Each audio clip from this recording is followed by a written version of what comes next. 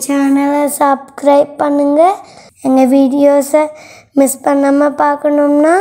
bell ஐக்கானை click பண்ணுங்கள்